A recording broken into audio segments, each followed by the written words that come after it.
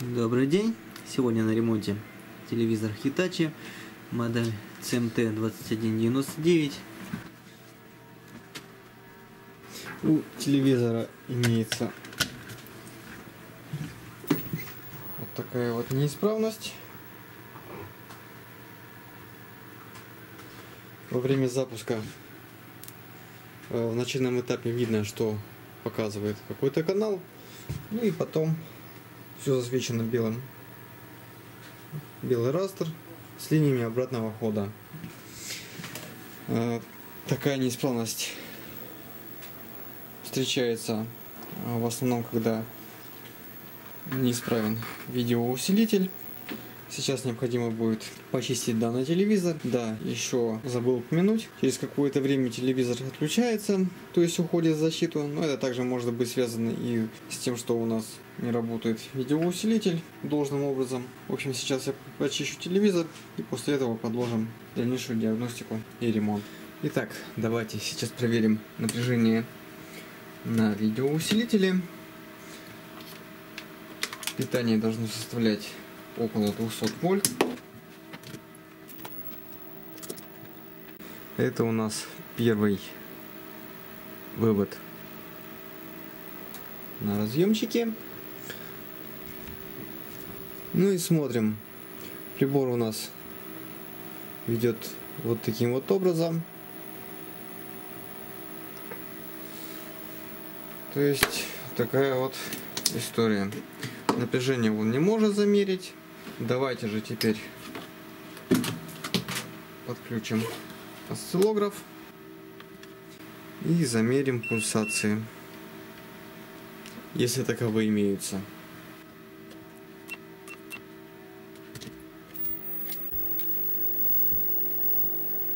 Также на первый вывод. Ну и смотрим показания осциллографа напряжение питания 200 вольт и пульсации 198. То есть питание присутствует 200 вольт, но с очень такими нехилыми пульсациями, при которых нормально ничего функционировать не будет. Давайте же посмотрим схемку телевизора. Вот у нас схема видеоусилителя и питание 200 вольт. Посмотрим, откуда оно приходит. Ну, приходит оно, естественно, ТДКС. Вот, ТДКС. Э, диод, к сожалению, практически не разобрать. Инициатор C700 тоже какой-то. Схемка так себе очень плохая никаких обозначений не видно, но видно, что конденсатор 22 микрофарада, 250 вольт. И давайте же посмотрим на плате. Ну, на плате у нас тут здесь только один в районе ТДКС находится конденсатор. Вот данный конденсатор. 22 микрофарада, 250 вольт. А, если бы пробила, например, диод и пошла бы переменка, то просто-напросто этот конденсатор бы взорвался, так как они не работают при переменном напряжении. Ну и естественно напряжение есть, хоть какое-то, ну хоть с большими пульсациями присутствует. А, подозрение падает на этот конденсатор. Скорее всего он полностью потерял свою емкость. Давайте же я сейчас его выпаем и проверим его. Снимать я это не буду уже выпайку конденсатора. Включаю телевизор. И смотрим. Как видим, изображение теперь есть. Растер нормальный. Все отлично. То есть у нас полностью потерял емкость вот данный вот конденсатор. Это у нас C756.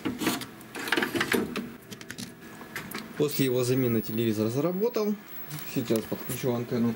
Также проверим изображение. Ну, придется сейчас настраивать, конечно, каналы. Поэтому, как только настрою каналы, снова вернусь к вам. Настроить канала не удалось, так как здесь только кнопки переключения каналов и громкости, и также клавиша ТВ АВ. Нашел лишь только канал домашний, попереключав, то есть частота с кабельным совпадала. Ну, здесь, судя по всему, кабельное телевидение, пульта на него нету, но, как видим, телевизор работает, защиту не уходит.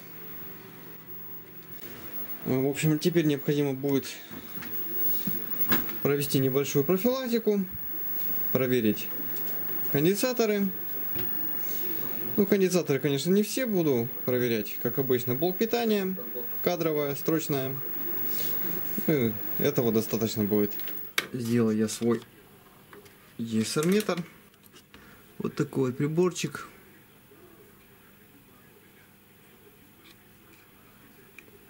Еще здесь два винта не вкрутил. Ну, это уже мелочи. Щуп сделал вот такой вот разъем. И здесь уже от другого щупа ну, сама игла. По конденсаторам я уже откалибровал, так как его пришлось калибровать немного. Э, по измерению резисторов. Калибровку я не производил. Конденсатор C953. 220 микрофарад на 100 вольт.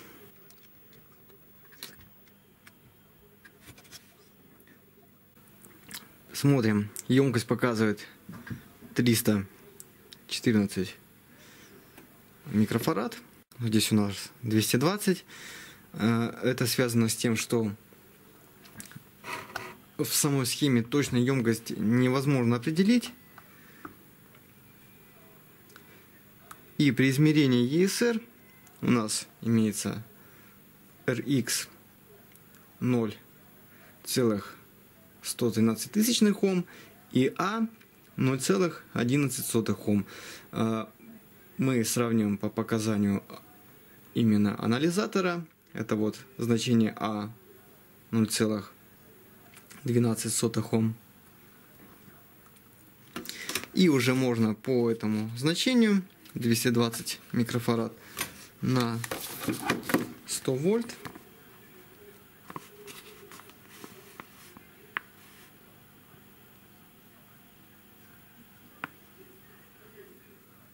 Смотрим 0,1 Ома. И у нас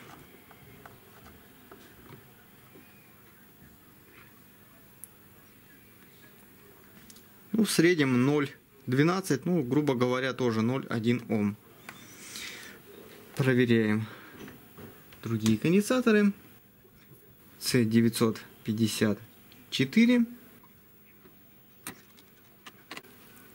1000 микрофарад на 16 вольт. Смотрим емкость 1130 микрофарад. И значение ESR и A. ESR то есть значение анализатора ESR, у нас примерно одинаковое. 0,17 Ома. Смотрим значение 1000 на 16. У нас получается 0,15 Ома. Ну, грубо говоря, практически одно и то же.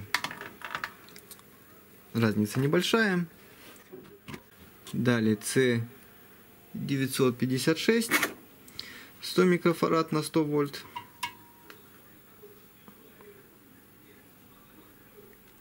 Опять мы видим емкость 320 микрофарад.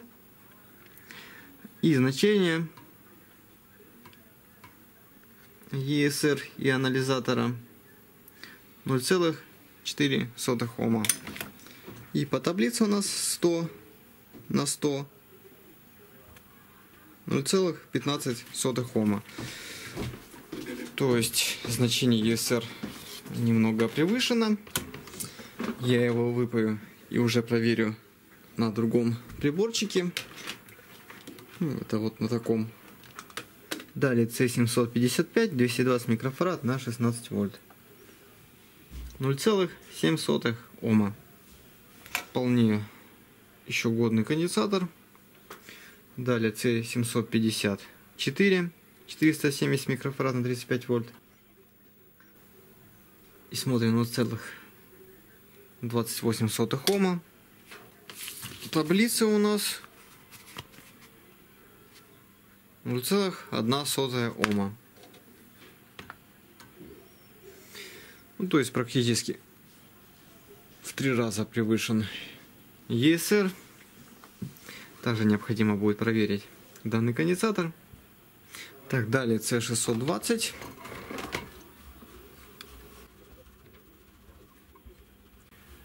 Ну, здесь все отлично. C725. 100 микрофарад на 16 вольт.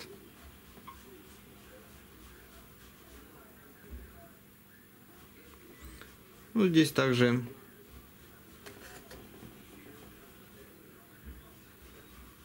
показания скачут, но в принципе нормально. C605, 100 на 35, 1,4, а у нас 1,2. То есть практически два раза превышен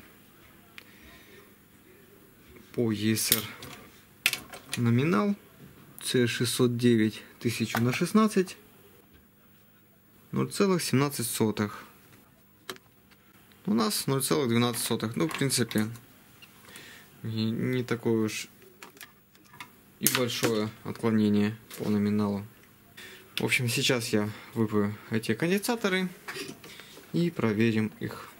Ну, к сожалению проверить я не могу. Проблема с данным прибором. При измерении любых конденсаторов показывает у меня просто-напросто ESR 0 Ом. А, не, не так давно я его просто-напросто сжег, искал прошивку. Но, скорее всего, прошивка не особо такие нормальная попалась. То есть во всех измерениях показывает 0 Ом. Любой конденсатор ставишь, вот такого не может быть. То есть любой конденсатор, когда ставишь, заметьте, значение волос. Это ну что-то вроде саморазряда конденсаторов. 2,3%. При этом 0 Ом. Откалибровать у меня также не получается. Когда я вытаскиваю конденсатор, у нас показывает значение 2 пикофарада. То есть прибор не калибруется. Пишут, ну, пишет ошибку. У этого же щуп, когда проводится измерение, стоит полевой транзистор. При измерении он просто на короткое время э, открывается, тем самым, если какой-то конденсатор заряженный, просто-напросто разряжает через данный транзистор э, конденсатор. Ну, также стоит диод в самом транзисторе полевом и еще отдельно. То есть грубо говоря, в одну сторону диод и в другую. То есть одной и другой полярности. То есть вывести этот приборчик из строя, ну, шанс меньше, чем вот, вот этот данный прибор. Так, удалось мне откалибровать прибор. Смотрим значение ESR 0,2 Ома, а в таблице у нас 0,1. То есть данный конденсатор у нас два раза превышает свою емкость.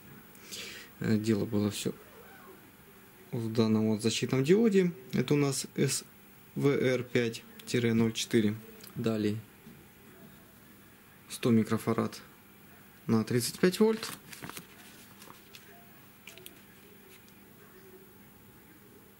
Ноль три ома.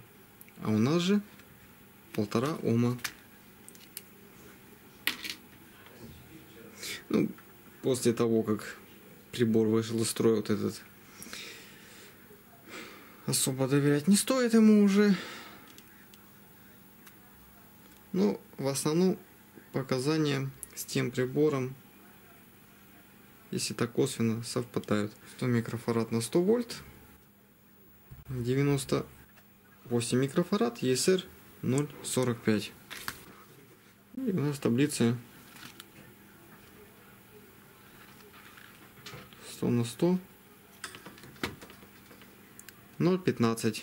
То есть по ESR превышение. Поэтому я заменю данные конденсаторы.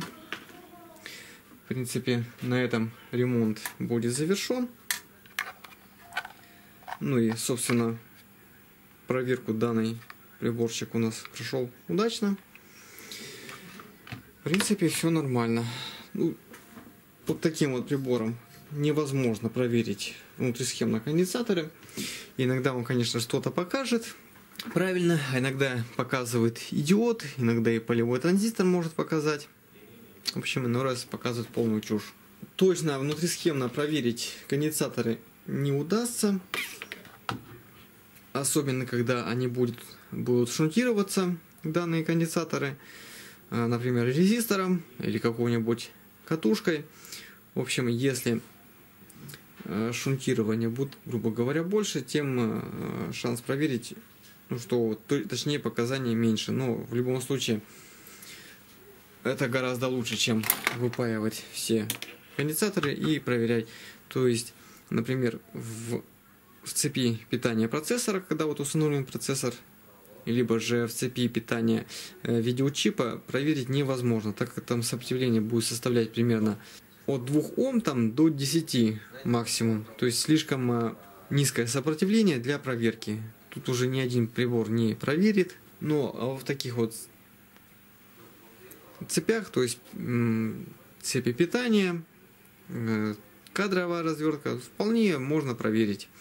И показания будет близкие тем значением, которым они на самом деле есть. Ну, естественно, и сам, сама емкость может отличаться немного в другую сторону, так как там и другие конденсаторы в цепи могут стоять, также влиять. По поводу данного приборчика еще сказать, в принципе, ну, больше не знаю. Данный прибор у меня уже уходит э, к подписчику, то есть уже заказали. Поэтому пока я остаюсь все равно без прибора, буду пользоваться вот этим вот. В общем, сейчас все соберу, ну, запаяю на место конденсаторы, ну и буду проверять, как работает. Итак, телевизор я собрал, в принципе, все работает. Ну, на качество изображения не обращайте внимания, это такая антенна. Ну, надеюсь, данное видео кому-то будет полезным. Всем спасибо за просмотр.